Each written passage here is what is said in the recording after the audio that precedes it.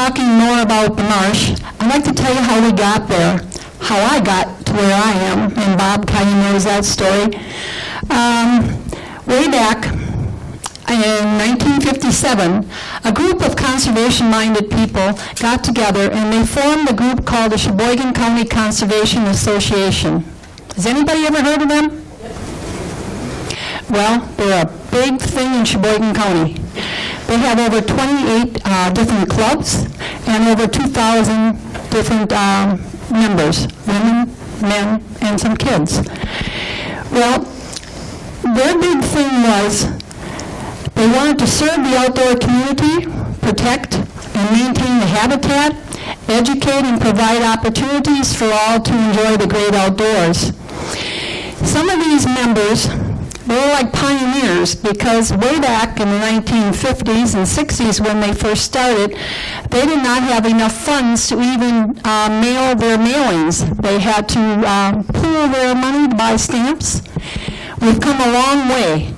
Up to date, the association holds a banquet every year.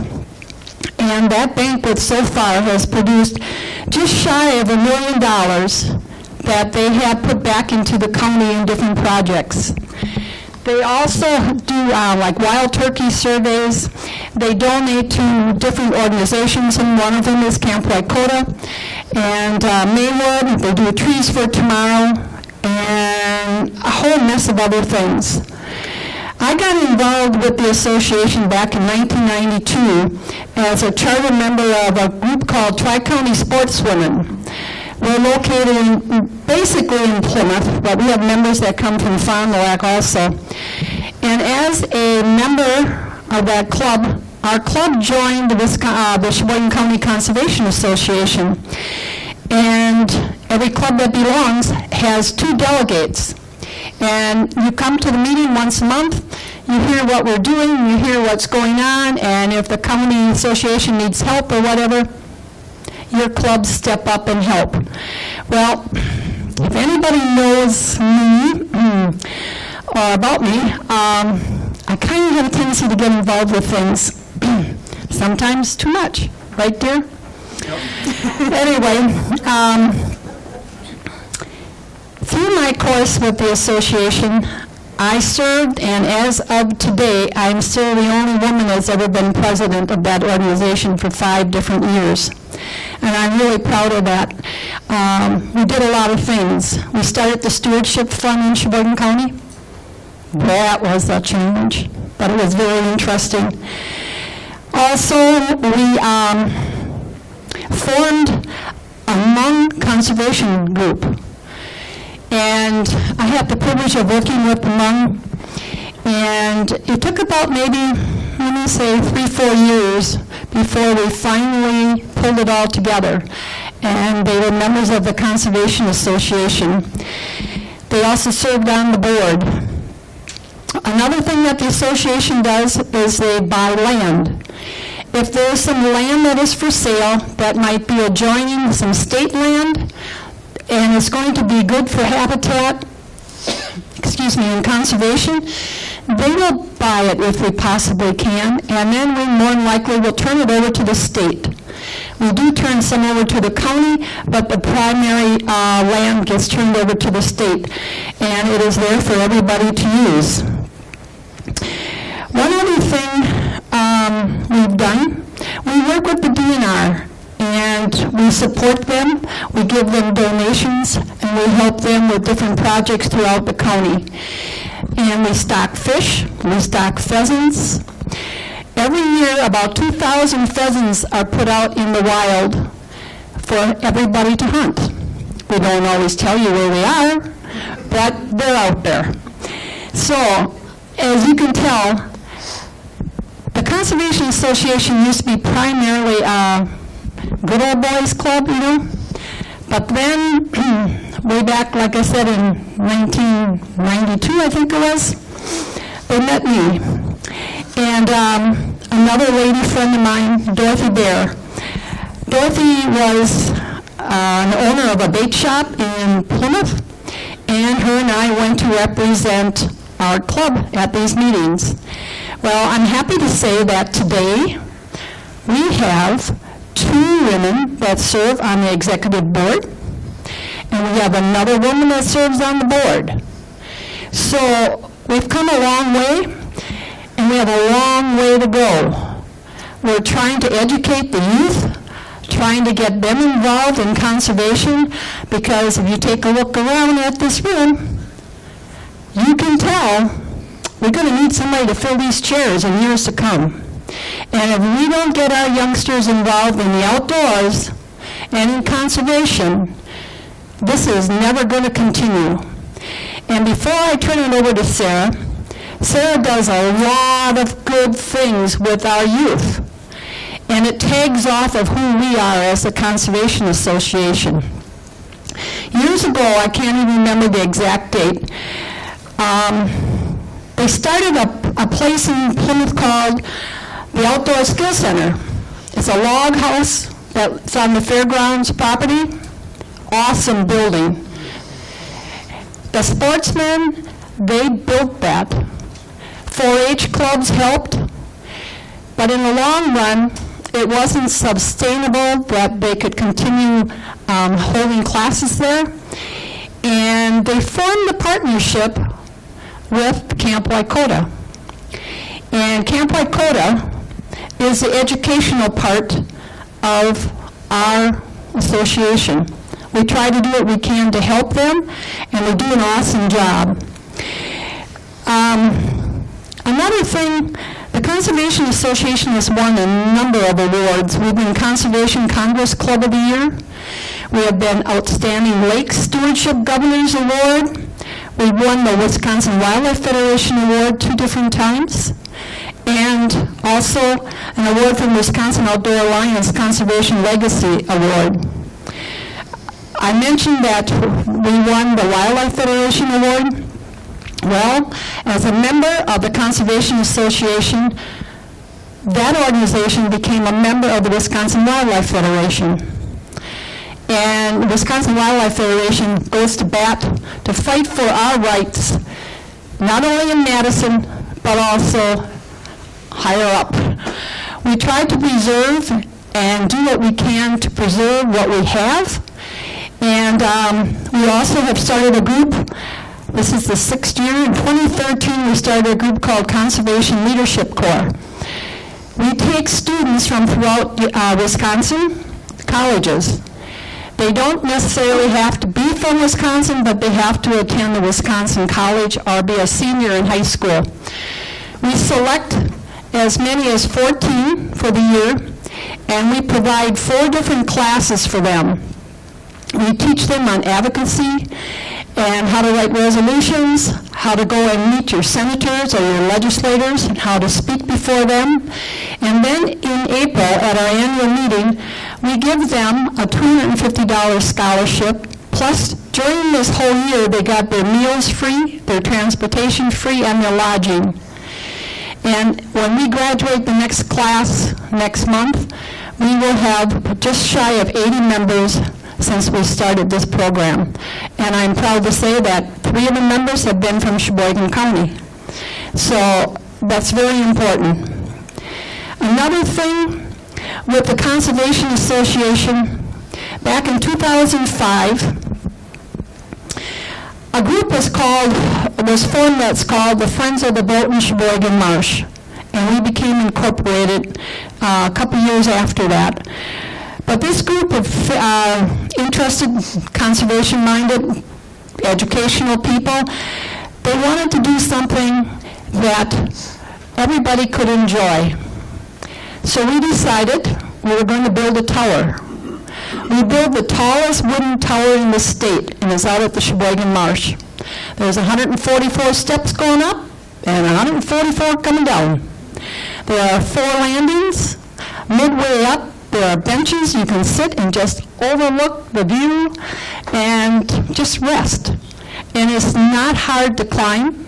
The steps are enclosed, so if you're afraid of heights or anything, you don't have to worry about looking down and seeing anything you don't want to see because it's all closed off. Well, the Sheboygan County Conservation Association donated the first $5,000 to this project, and that's how we got started. Also, the Friends of the Sheboygan Marsh, like I said, we were going to do this tower. Well, during the course of us trying to put this together, we ran into a few snags, like every other project usually does. We put out for bids, and the bids came back very high. And then some friend of our group suggested we become incorporated.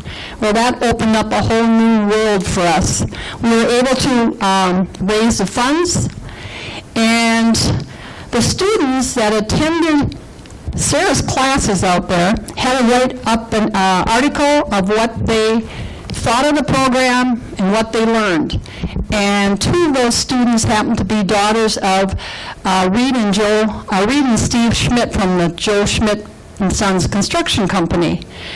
So they reached out to us and they offered to build the tower for us for the money we had raised at that time, and we could pay it off interest-free. Who can refuse that? So anyway, like I said, we started with this project in 2005, and it seemed like it was forever before we were ever going to get that built.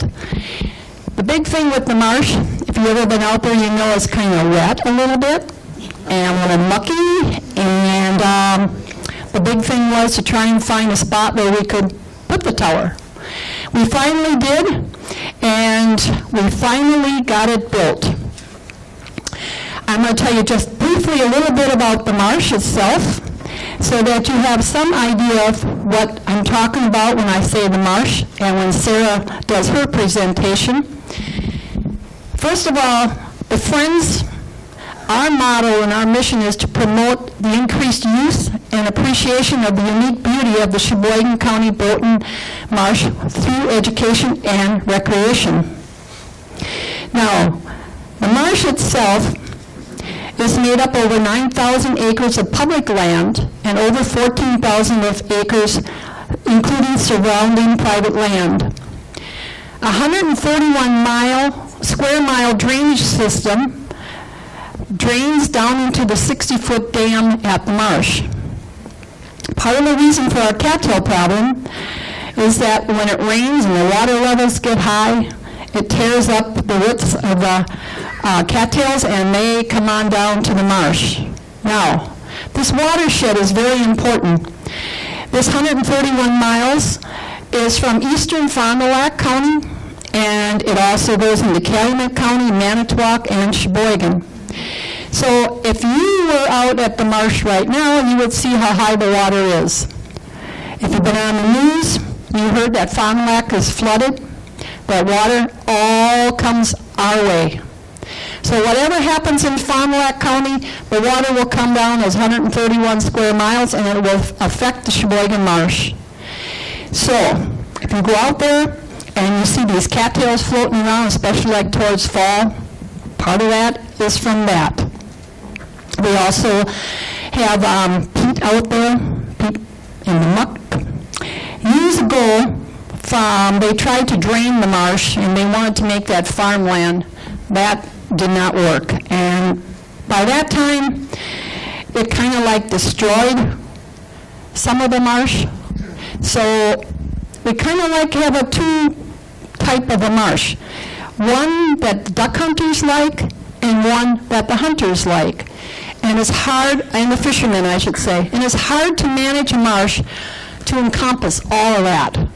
So we do the best we can. And one thing I want to make very, very, very clear, our friends group has nothing to do with the marsh, how they manage the water, what they do with the marsh, the cattails, and we have nothing to do with canoes, renting canoes, or rent, renting campsites. That is all county stuff. We are strictly here to promote education. So, as I alluded to with the tower, we finally, finally got it built, and we dedicated it at Christmas time in 2009. So this year it will officially be open 10 years. Has anybody been out there and climbed that tower? Awesome. Wow. I'm impressed. Okay. My husband knows it quite well because whenever somebody buys a plaque for on the step, he has to put it on. And he keeps saying, I hope we're not going any higher.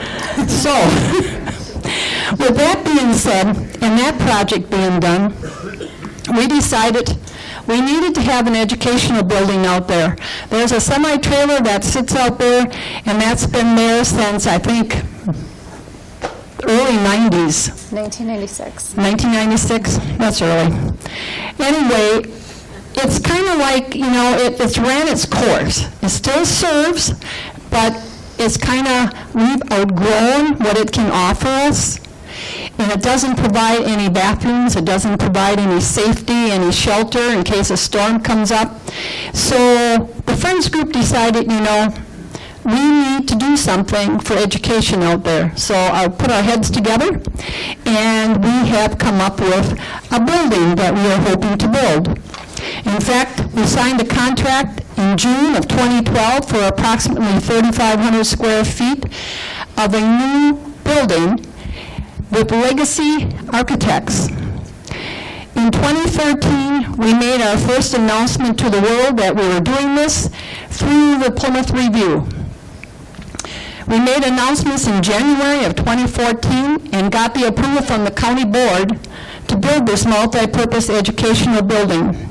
The pictures are on my left, and in November of 2015, well, in November, uh, March of uh, 2014, we signed a contract with Joe Schmidt and Sons to be our, our uh, contractors to build this.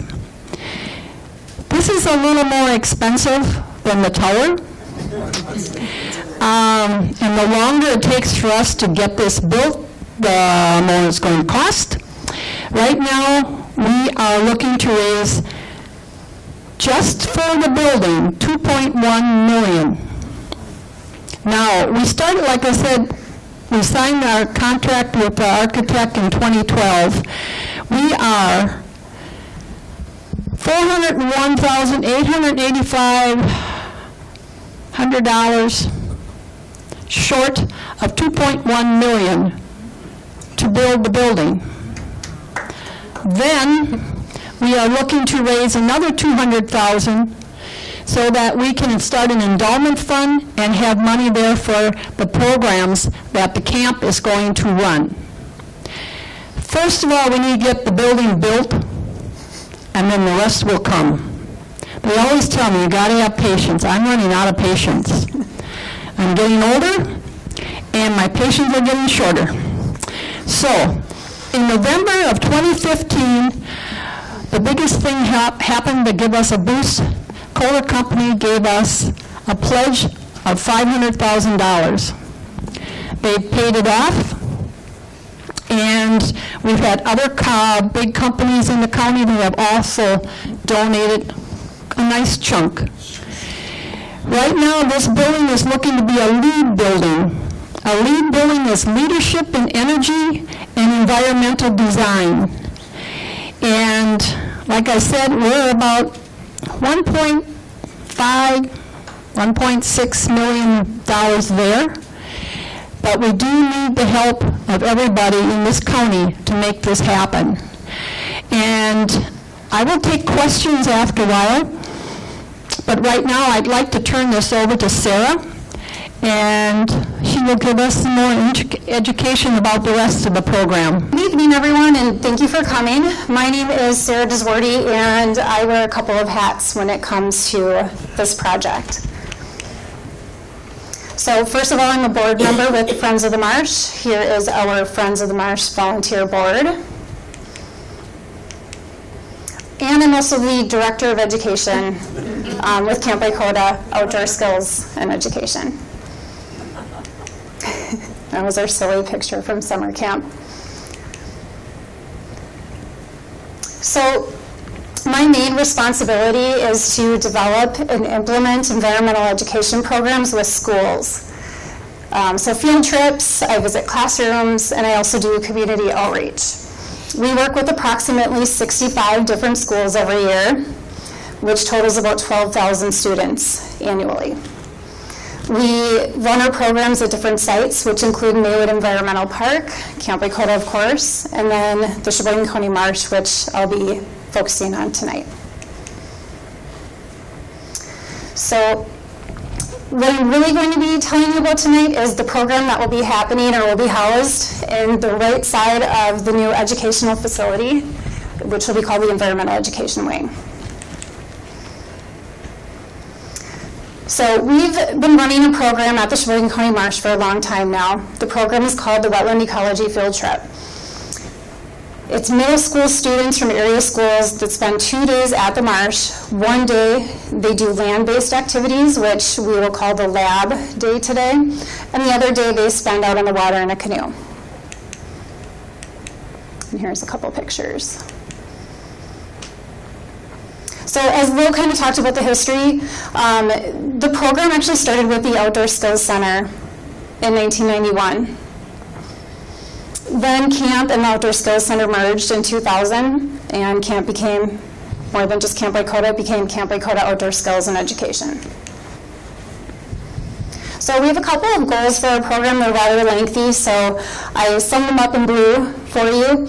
Um, our main goals are that the children, when they come out, they learn about science. We also want to inspire the children to love the outdoors through our program. And we also hope that they will have a lifelong passion for recreation. All right, so I'm going to tell you about the field trip. So the first day the kids come out and they spend most of their day canoeing. We call that the canoe day. So they get off the bus in the parking lot right next to the restaurant. Then we cross the dam, walk through the gravel parking lot, and we trudge up the 144 steps to the top of the tower. So I've climbed the tower many, many, many times.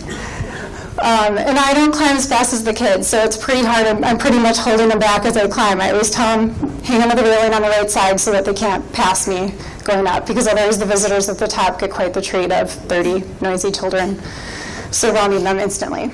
Um, but this is the view that we see from the tower. And when we get up there, the very first thing that we talk about is the history of the Sheboygan Marsh. We talk about the Native Americans that once used the marsh. Um, when you're at the top of the tower, basically what you're looking at is a really large bowl. It's 14,000 acres, so you have the highlands all around the outside, and then at the bottom is where the water is, so the 133 square mile watershed. And we show the kids that all around the top of the bowl is where there were thousands of Native American villages at one time. And we asked the students, why do you think Native Americans would want to live in a place like the Sheboygan Marsh? Well, it's because it was very, very rich in resources. They had everything they needed, food, water, and shelter. And plus, they could navigate by water. We also discussed the fur trade. Um, this particular group of students, they're from Kohler Middle School, and um, they, they were quite goofy, so you can see um, the next couple of pictures, they're doing some funny things. So we talk about the fur trade.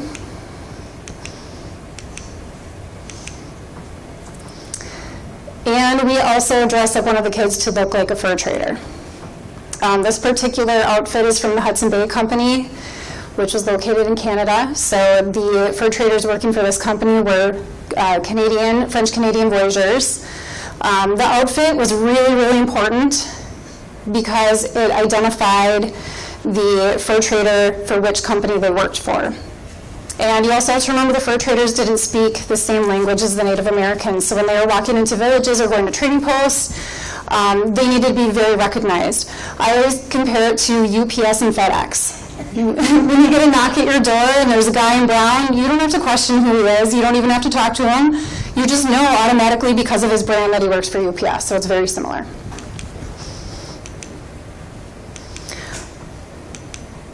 We also learn a lot about science and ecology. So after we're done with the history, um, we do an activity where we hold up the pelts of animals that live in the wetland. So for example, we have a muskrat, otter, red fox, and fisher in this picture. So we hold up one of the pelts, the kids guess which animal it is based on what they've already learned at school and which animals inhabit the, the marsh. Um, and then after that, we talk about some of their characteristics and their adaptations to the wetland. Going back to history a little bit, like Will said, the marsh was unfortunately drained, so the Sheboygan Marsh is a restored wetland. Um, between 1870 and 1890, a man by the name of John Birchie drained the marsh so that it could be farmland. Um, unfortunately, by the time he was finished draining it, farmland prices had dropped so low that there really wasn't anyone interested in the farmland that he had drained. So he went bankrupt. And then between 1912 and 1821, the Sheboygan Valley Land and Lime Company came in and they attempted to drain it even further. So the big machine that you see in the picture, that is a dredging machine. It was coal powered. It dug over 20 channels surrounding the outside of the marsh, um, attempting to again take the water out of the main wetland into the channels, emptying it. Um, he, that company actually also blew out the limestone ledge, which is now located near the what we call the Quashis Quarry, the old limestone. Um, and that was the natural dam. So when they blew that out, all of the water was no longer being held as a reservoir or as a marsh, so it was empty. And they actually ended up going bankrupt too. So in 1921, the marsh kind of just sat empty. So between 1921 and 1927, the marsh started on fire. Um, and that was because it's solid muck, and as that compacts, it becomes flammable. And because it's so large, there's no way of putting those fires out. The marsh during that time actually got deeper um, because the soil was exposed and there was wind erosion. It was compacting and then it was burning.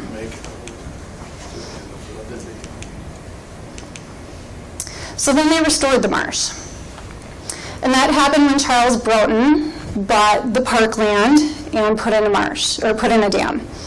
And I found this um, in the Sheboygan Press archives. Uh, the top picture is a picture of the marsh burning, and the bottom picture is when they put the dam in and refilled it with water, and it shows all the wildlife coming back. So that happened in 1938. So after they've learned about the history and a little bit about um, the animals that live there, it's time to canoe.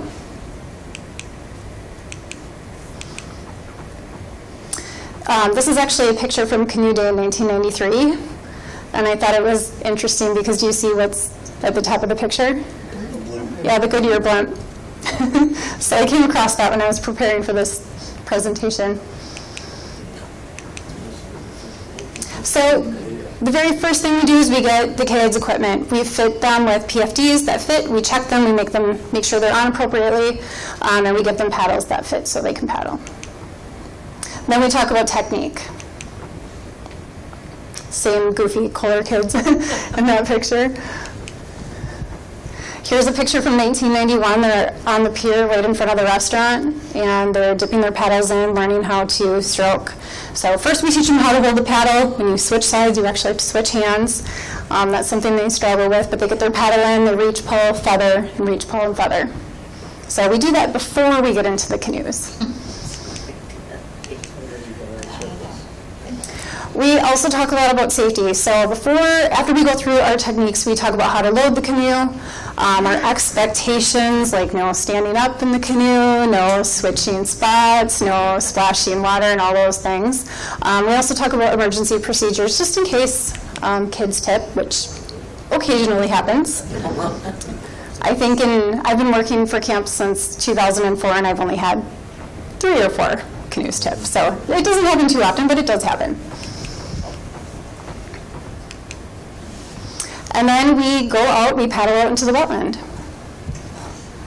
And so I think the important thing about this is it's recreation, and hopefully the kids are enjoying it, and this is something that they'll want to do lifelong. And they're not learning with paper, they're not learning with textbooks on this day, they're learning hands-on. So while we're out on the water, um, we're trying to see as many different things as we can. Of course, that's hard when you have a group of 35 kids and they're fighting over how to paddle their canoe.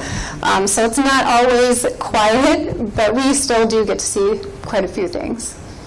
So while we're out there, we're talking about wetland food webs and the interactions that are occurring. And then sometimes we do a silent sit and we use our senses to listen as well as see what's happening out there.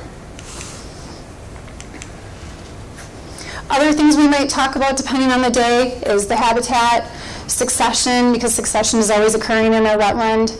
Um, the types of wetlands, we have three main types in Wisconsin, wooded swamps, bogs, and marshes. And then we also talk a little bit about the management practices of the marsh as well. We even eat our lunches out on the water. And that's so that we can rest our arms, because once lunch is over, it's time to paddle all the way back. And since it's a marsh, a lot of times it's easy to paddle out, but then you hit the wind on the way back. So it can be a bit of a challenge. Once back on land, we do a few more activities before the kids get on the bus. Um, one of the activities is called the States Game. The States Game is a game about wetlands disappearing over time. So um, we use the states Wisconsin, Illinois, Iowa, and Indiana. And each state has a set that looks like this. So this would be Wisconsin in the year 1700 to 1850, 1900, 1950, and today. And those represent the amount of wetlands that we still have in Wisconsin. So in the game, we have the kids line up in a straight line in the starting line, and we tell them that they are going to be Canadian geese, or Canada geese, I should say. And they have to flap their wings and if they're a girl, they have to say honk, and if they're a boy, they have to say hank. And then when the instructor says go, they keep they keep flapping their wings and saying honk or hank, and they have to get to the state. So the very first round, we use all the big states, so 1700 to 1850. Um, and for that round, everyone can get a foot on the state. So it's kind of like they migrated, landed in the wetland, and there's food, water, and shelter for each of them, so they survive.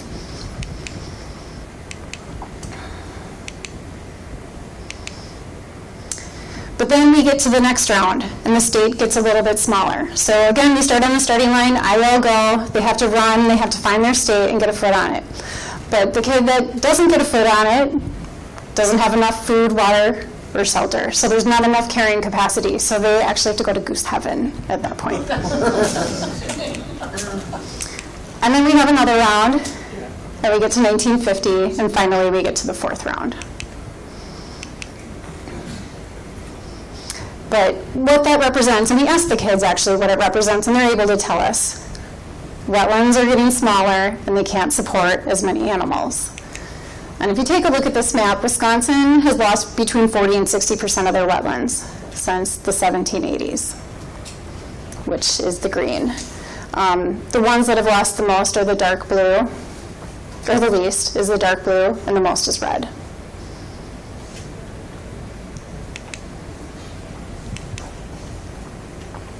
So at the end of the day, we sit down and we kind of digest everything that we've talked about. And the kids talk about how they feel about wetlands um, decreasing and what they might be able to do to reverse the trend. Then we get them on the bus, and the teachers tell us that this is what happens. So they go home, they get a good night's rest, and then they come back the next day for the lab day. All right, so for the canoe part of the program, we met all of those goals. They learned about science. We hopefully inspired them to want to canoe or be out, outside again, and hopefully we've um, instilled a lifelong love for recreation. Okay, so the lab day. The lab day, we get off the bus, and the very first thing we do is take off our shoes and we put on boots. So our program is experiential, so again, they're not using worksheets or textbook. They are actually going to be getting their feet wet and their hands dirty. and my hands always get dirty too, which is why I never ever get manicures, because they only last about a day. So one of the things we do is we take a look at wetland soil. Um, wetland soil is very, very unique. So we head out into the marsh. We give each kid a piece of soil, and we have them look through it, smell it, and squeeze it. And what they find is that wetland soil has a very strong odor. And if you go out to the marsh in summer, you can smell it. It's a very, very strong smell. They find that it's very dark in color. It's definitely different than the soil that they have at home or they have at school. It's almost black in color. Um, the particle size is very, very fine. So if you rub it in your fingers like this, you don't feel anything grainy. It's actually very silky. And that's because it's silt. It's rich with vitamins and minerals, which support lots and lots of vegetation, which is why when you go to a marsh, it's so densely vegetated. And then the really cool thing about wetland soil is it acts like a sponge. It absorbs water. And that's why we have the kids squeeze the wetland soil because water should come out. And they're always very amazed at how much water is coming out. Even years when we're in a drought, you squeeze the wetland soil and there's still some water that will come out. One acre of wetland soil can hold up to 1.5 million gallons of water. And we have 14,000 acres of the Sheboygan County Marsh. So I can't do the math, but if you take 14,000 times 1.5 million gallons, that's a lot of water.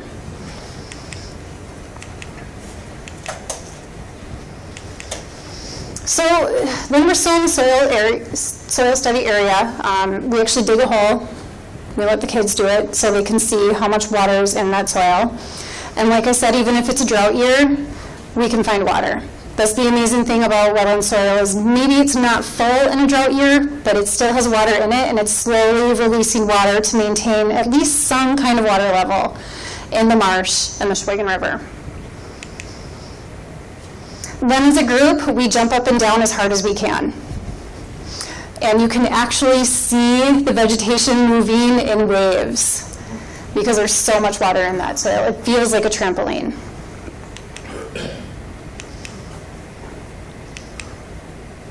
Then we take the kids and we take them into the wooded swamp and we give them all their very own spot to just take a little bit of time to do some nature journaling. Um, this has been very challenging for some of the schools that we work with because they're very urban and they haven't been in nature before. So being alone in the woods is actually very scary to them. So as instructors, we keep walking up and down the trail just making sure that they're okay. Um, they have a hard time sitting because they're not okay with sitting on the grass or a log or a rock, but they get to it. But by the time they come out 20 minutes later, they have seen so many cool things that they're very, very excited. We hear all kinds of stories like, I saw this and I saw that and I saw this plant and what's this? And it's, it's very, very, very um, cool to watch. Um, we give them the choice. They can draw what they're seeing. They can make a diagram of what they're seeing. They can just write down words, descriptions. Um, I've even had kids write songs about what they were seeing um, and poems. And at the end, they're able to share their observations. And when we stand in a circle and we share, every kid has a different observation. So we're able to say at the end of that time that the marsh is very diverse with vegetation and wildlife.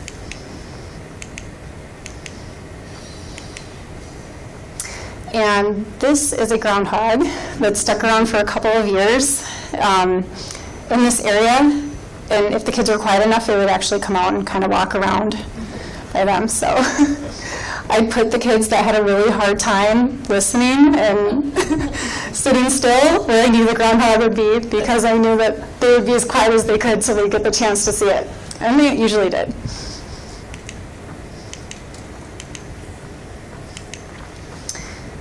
All right, so the next thing that we do is we play a game called Fish and Critter. Now, this game is very, very simple. There's no equipment required, and it's kind of like the combination of hide and go seek and red light, green light. It's a game about predator and prey. One person is the fish, and all the rest of the kids are the critters. When I say critters, what I mean is macroinvertebrates. So the little tiny critters that are living in the wetland. So this is basically um, a game where they're pretending that they're in a wetland. So down here we have the fish, who is the predator, and then up here we have all of the critters standing on the starting line, and the instructor standing in the middle. The fish has their back to the critters, and then when I yell go, all the critters run towards the fish, and then we yell freeze. So the kids slam on the brakes, and then their job is to figure out a strategy to survive because the fish is going to turn around and if they can recognize that child, they'll say their name and their shirt color. If they say their name and shirt color, they have to go back to the beginning. The very first round, the kids are really bad at it. um, but by the time we get to the third or fourth round, they're very good at it. And that's important because the next thing that we're going to do is go and try to catch these macroinvertebrates in the water. And one of the misconceptions that the kids always have is that these little critters are just floating around in clear water. But they're not. They're hiding. So by the end of the game, the kids get, if they lay on the ground, they're more likely to survive than if they're just standing up facing the fish. They also know to look at the plants because they know that they're going to blend in with the plants. So next we put on, well we already have our boots on, but we grab our nets and we grab our buckets and we head to the shallow edge of the marsh where they try to catch these macroinvertebrates. And here's what they look like. Um, most of these macroinvertebrates are insects starting their life in a wetland.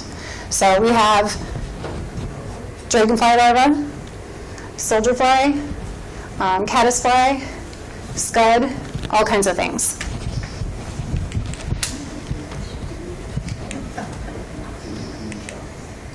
So they're doing exactly that. They're looking through plants, they're looking on the bottom of the wetland, they're turning over rocks, and they're trying to catch these critters. So then we take a quick break for lunch, and after that we head to our lab. And inside the lab, we take our bucket of critters, we pour them into dish pans, and we catch them with pipettes and spoons and sort them into ice cube trays. We take a look at their characteristics under the microscope.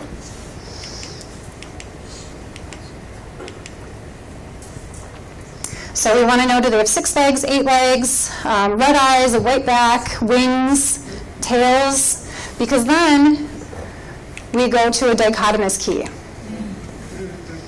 So here's the dichotomous key, and it's, it's separated by um, characteristics. So up here you have no legs, so your mussels, your snails, and then you get down to your things with lots of legs, wings, tails, etc. The kids write down um, what they found, and that's very important because these macroinvertebrates are assigned a value. If they can only live in pristine conditions, they are assigned number four. If they can live in conditions with just a little bit of pollution, they're assigned a number three, and then it goes down to a two and a one. So you want to see critters that have the four value, because then that tells the kids that we have good water quality at the marsh. Um, so that's called your biotic index score, and it's either going to be excellent, good, fair, or poor. We typically see fair at the marsh. And we have 133 square mile watershed, so there's a lot of things happening, happening on the land in that watershed, and so we see that in our macroinvertebrates. We tend not to find those number four valued critters. Then we dress the kid up to look like a beaver. Um, so we're talking about adaptations for this part, how beaver and other animals are very adapted to wetland environments. So um, this kid right here, he's got a fur coat on to represent the fur, um, flippers for web feet, goggles for the clear eyelids that they have, um, ear muffs for their ear flaps, a hatchet for their teeth. No trespassing is the scent that they spray their territorial, so they spray scent.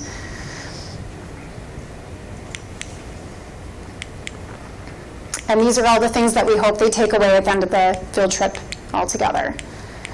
I'm not going to read all of them for you because it's a lot. Um, but teachers do assess the kids when they get back to the classroom with either a test or a project so that they can ensure that this is the knowledge the students are gaining as a result of the two-day field trip. And again, after the lab day, we've still met all of our goals. They've learned science, We've hopefully inspired them to love the outdoors, and hopefully they'll love um, recreation for life. So the program today, um, for this school year, 2019-2020, um, we will have approximately 1,600 kids, fifth through eighth grade, from area schools that will be attending the field trip. From 21 different schools in three different counties. And of course, with each passing year, we hope to continue to increase that number. Here's a graph that I put together from 1991 when the program started with the Outdoor Skills Center to 2025 where our goal would be there. So in 1991, uh, the pilot year with Plymouth, uh, it was Riverview Middle School, that was the first school out there, um, they had around 60 kids. Um, by 2000, we were over 1,000. 2019, we'll have about 1,600, and then 2025, we hope to have around 2,000. So the evolution of the lab. Um, in 1991, when the Outdoor Skills Center started this program, this was their lab, a tent that looked just like this. So that was easy for 60 kids. But then as the numbers grew, it evolved to this, the trailer that Lil told you about earlier. This trailer was donated by Sargento, and then um, other individuals and companies um, gave funds to make the inside look like a lab. And here's the bathrooms. And we don't have enough storage, so we use the canoe trailer for storage. This is what it looks like on the inside. So it's really neat. But as we've increased our numbers and class sizes have gotten bigger, we don't exactly fit in the trailer all that well. So the top picture, that's kind of what it looks like when everybody's sitting down, but it's still a tight squeeze. and when there's movement, it's a very tight squeeze. And a lot of times I will go up the front steps and go into the lab, and if a kid in the back has a question, I go down the steps, around the outside, and up the back steps to address that question.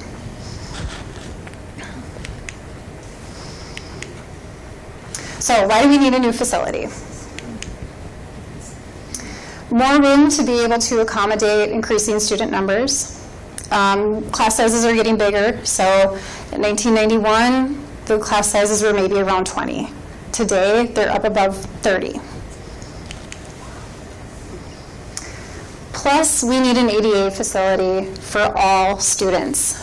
There's steps that go onto the trailer. So when we have special needs students that come out, if they're in a wheelchair, um, it is very difficult to accommodate that student. And we need better bathroom facilities for all students as well. So the other wing of the building will be shower and bathroom facilities. No more portable toilets.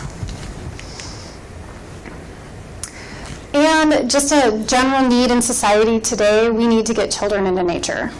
Again, we need to help them reconnect. We have a lot of this going on and not very much of this.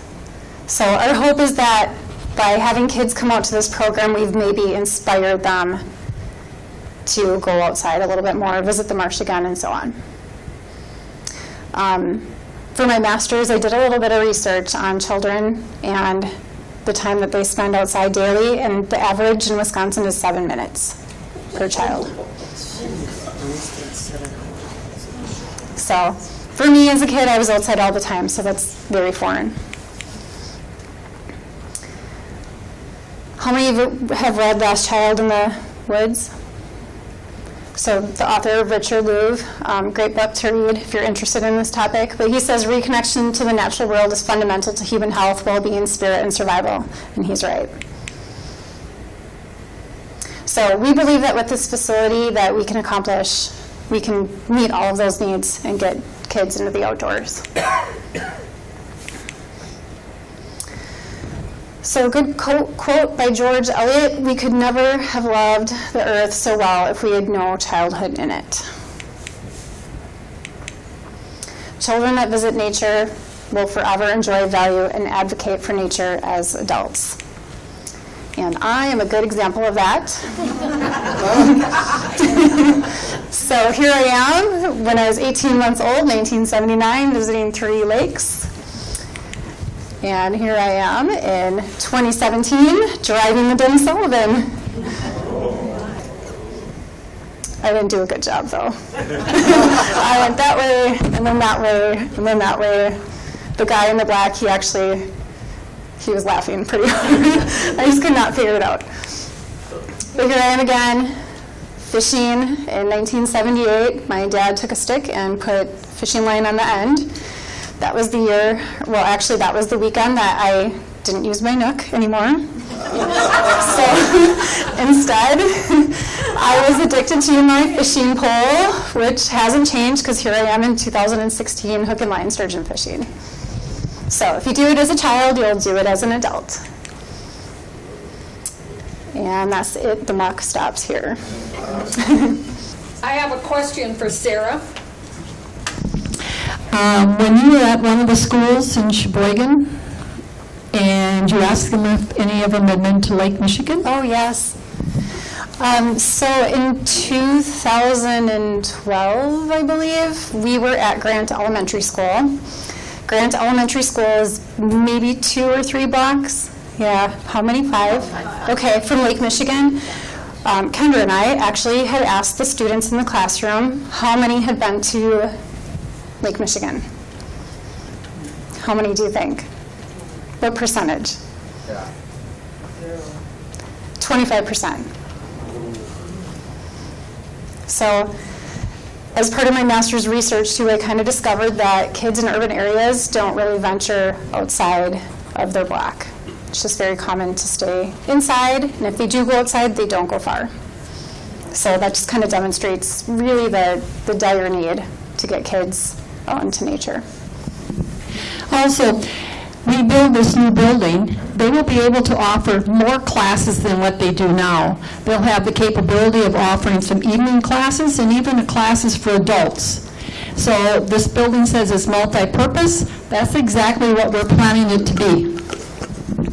As you'll see on this poster, there are four layouts of different ways that they can do their classroom, or they can set it up if we're going to have a meeting. If you want to have a small party out there, a small wedding, or whatever, this stuff can be rearranged to suit whatever the occasion. It's going to have a small kitchenette, so that if you want to um, cater, have food catered in, there will be a refrigerator and a microwave. You'll have that capability. Also, the atrium, in the middle of the two sides, the atrium will be having a live tree from the marsh in the center.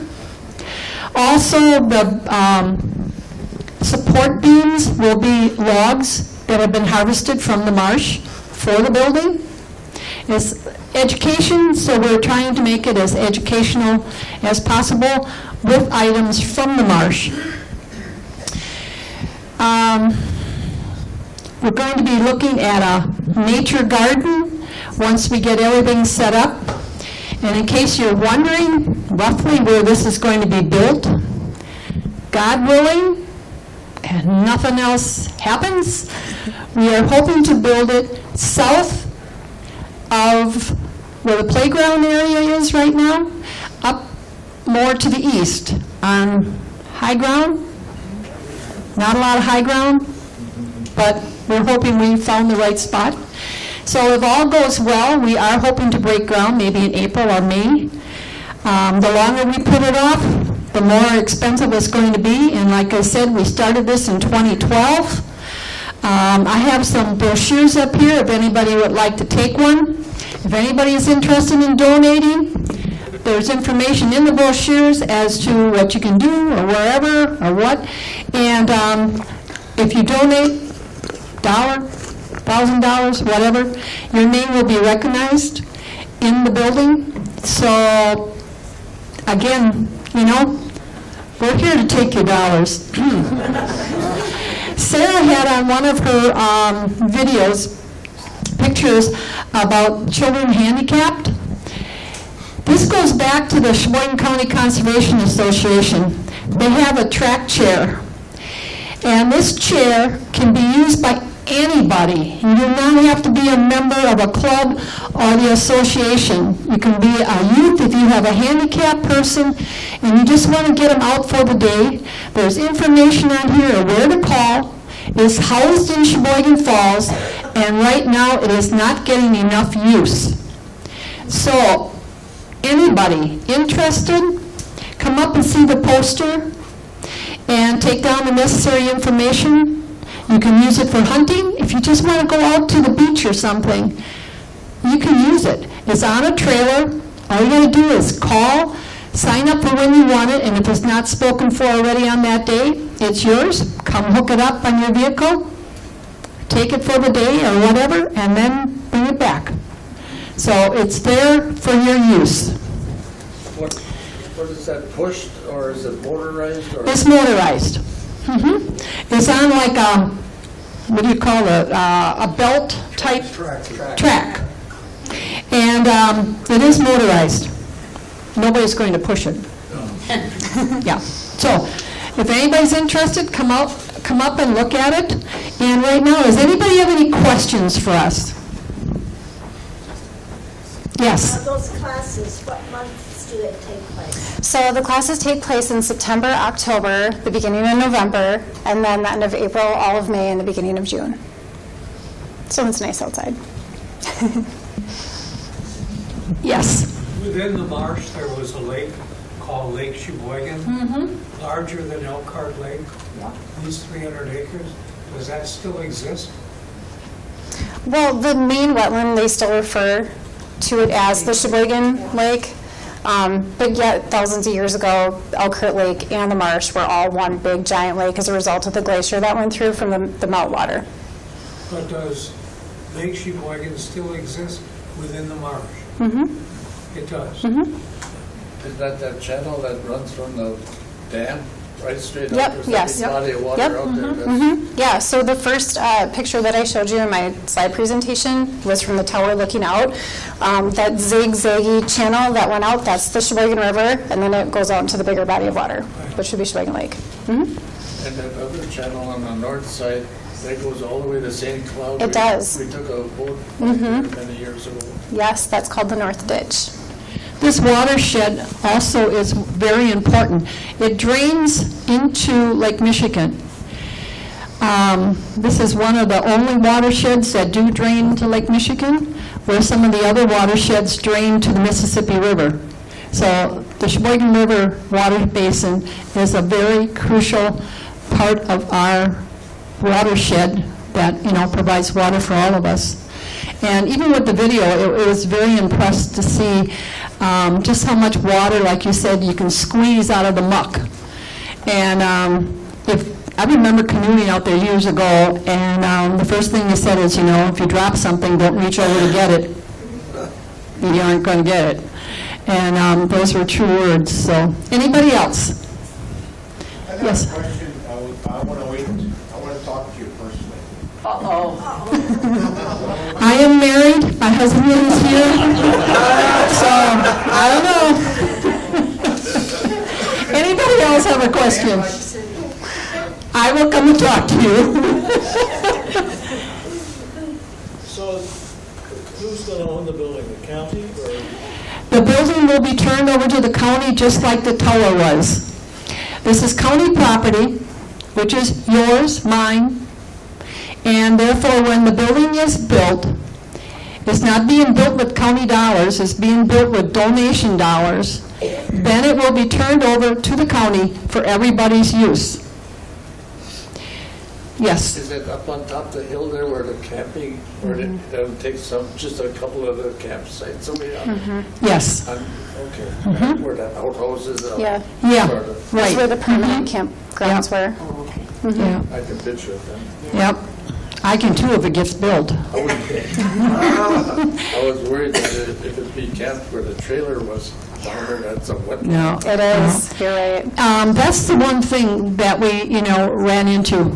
You're all familiar with the marsh, the way it sounds. It's wetland and floodplain, and we're limited to where we can build due to that. So, When they dredged it the first time, that channel along the road there, they put it all on the other side of that channel. They should have put it on this side, but I think they, maybe the BCTs and, or mm-hmm. whatever, mm-hmm. maybe afraid of that.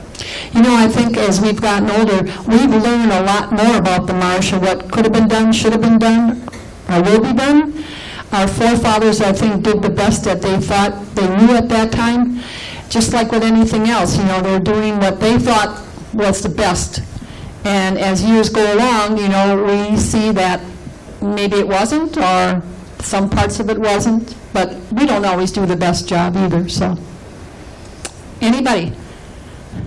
Uh, Fish and wildlife in the marsh area. Can you tell us if, if things are, are stable, if they're getting worse, if it's any better, if it's supporting fish and wildlife, Um? So the health of the marsh, um, I can tell you that um, after a drawdown, the wildlife is very abundant. When you expose all of the soil, there's seeds in the seed bank, and so new species can come up, and the more plant variety you have, the more wildlife it can support. So typically after a drawdown, the year after, we'll see the macroinvertebrate population explode, and we'll see some of those um, category four macroinvertebrates, and the rest of the food chain kind of blooms from there. And then the further away we get from a drawdown, um, the less diversity we see. So we're very far away from a drawdown at this point. so really, if you go and explore the marsh right now, you- you see 90% cattail. And that's not diverse, so you don't have diverse wildlife. Um, if you just look at the waterfowl populations, you do not see the diversity that you would see after a drawdown. So um, I think overall it's, it's healthy, but it can be better. And it's kind of hard to manage both for both, because when we did surveys a few years ago, um, some people wanted it to be for fishing, duck hunting. The other ones wanted it to be for uh, hunting, you know, and it's a diversified area, and it's hard to manage for just one particular thing. So you, we just, it's a marsh, and we're trying to leave it be a marsh. And um, we're talking about the drawdown. Sheboygan County has tried now, this is our second year to do a drawdown, but nature has not helped us any. And also, right now, out at the marsh, um, the gate at the bypass broke last year, and it took a while before they could get it out. It's not just something you go down and pluck out, it took a while. And then they had to find a company that could make the part to replace it, and then it has to be approved. And now, from what I was told by the county planning department, later this year, it will be installed. So, yeah, that's about all I can say about that. Yes? Could you explain a drawdown? A drawdown? That's when we try to drain as much water out of the marsh as we possibly can, so that the cattails take root. Because the more water, like I said, it comes from Fond du Lac down, and with all this flooding that we've had, it just upsets and uproots the cattails, and they come down to the dam. And then the county comes along with their trucks, and they haul them away, and it's costing us tax dollars, like seventy, eighty thousand dollars a year to do that. People aren't always aware, but that's what happens. Lots of times that when I went out there, it seemed like the cattails grew on the moss and they float. And then when the wind comes, it just blows wherever the wind goes. Yeah, they do. So, um, because it's 133 square mile watershed, when it fills with water, it goes way up really fast. So if you think of the cattails having their roots, when you add a lot of water, it pulls them up and they uproot, and that's where you see them floating, floating down the water channel. It's hard to manage the water level out there, even when everything is working, uh, because we don't have control of what happens upstream.